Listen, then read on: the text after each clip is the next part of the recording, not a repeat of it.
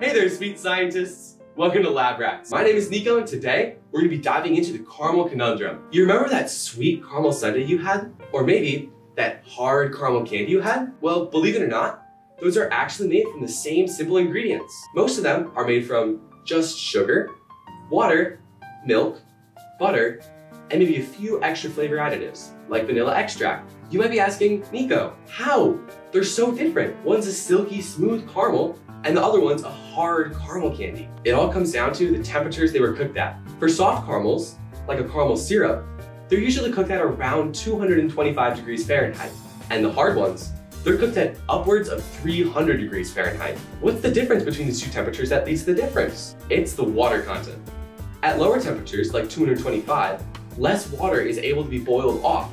And typically, those caramels are held at that temperature for a lot less time, leading to more water content in the final caramel syrup. And then the ones that are upwards of 300 degrees, all the water is boiled off, leading to just the sugar and milk solids being left behind, giving you a hard caramel candy that you can keep in your little cheek for a long time.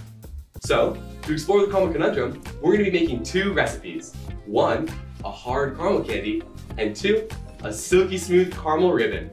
For these recipes, you're gonna need some pots and pans, the ingredients listed on the screen, parental supervision, a gas or electric stove, and a lot of time. All right, let's get into it. For our first recipe, we're gonna be making soft caramel. You're gonna start by heating your granulated sugar over medium heat while making sure to stir constantly. You're gonna stir that until the sugar melts into a thick brown liquid. And it should take roughly about five to six minutes. And you gotta keep stirring it or else your sugar is gonna burn. Once your sugar is fully melted, you're gonna wanna add in all of the butter and stir rapidly. Once the butter and sugar are completely combined, you're gonna slowly add the heavy cream in portions and keep stirring the whole way through, just to make sure nothing burns. And be careful not to add everything at once because the sugar mixture is gonna bubble a lot. So you're gonna wanna be extra careful to add it in very small portions. Once you've added all of your heavy cream, stop stirring and let the mixture boil for about one minute. After a minute, take it off the heat and stir in all of your salt. The caramel should end up being a thin liquid at this point, and after letting it cool, it should be ready to serve as a little bit thicker caramel syrup. Plus, you can use the microwave to heat the caramel to the desired consistency for your recipe. I recommend this on caramel sundaes or even some brownies. Delicious. Now, it's time for our hard caramel recipe. You're gonna wanna start by adding your water and corn syrup to a saucepan and mix until they're combined. Then add your sugar and stir it into the water corn syrup mixture until it's fully combined. Then place your saucepan on your stove and turn the stove onto medium heat until the sugar comes to a boil. Then take a lid and cover the saucepan for one minute.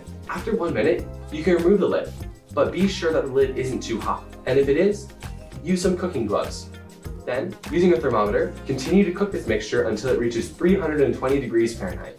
This should take anywhere from between 5 to 10 minutes depending on how high your stove is. Once the sugar is at 325 degrees, add in roughly 1 6 of the butter and cream mixture and continue to stir. This mixture is going to bubble a lot during this time, so be careful to only add 1 6 of the butter. Once all of your butter and cream is added, the temperature is gonna fall rapidly. Let it heat until it reaches 240 degrees Fahrenheit. At that temperature, take it off the saucepan, pour it into a buttered tray with parchment paper lining it, and let it cool. After 20 to 30 minutes of cooling, sprinkle salt over it, and let it cool for another 3.5 hours. And there you have it, some nice chewy caramel. Now that you got your sweet treats, let's talk some science. These two different caramels you have in front of you, one's silky smooth, and we know that one is silky smooth because it was cooked to a lower temperature, leading to more water content in the final product. And the other one is kind of a hard or chewy caramel, depending on how high your temperature got. And that one has less water in it, leading to more firm and maybe even crunchy texture to it.